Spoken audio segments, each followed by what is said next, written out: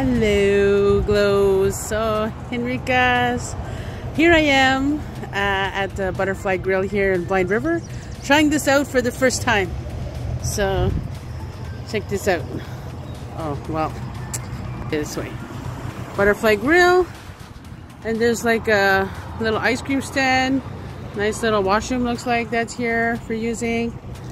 Cute little picnic area, concrete grounds.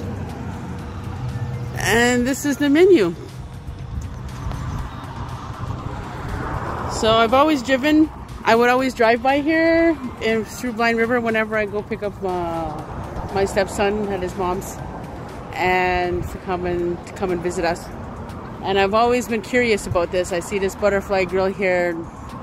I was curious to try it out. So today my son is he's hungry. So I gotta feed him. He got a poutine and I got a hot dog. So yeah, and we got some drinks, and we're gonna check it out.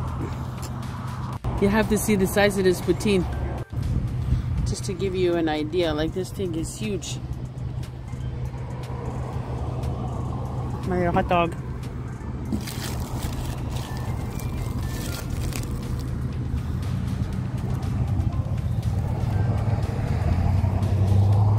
You gonna be able to eat that all?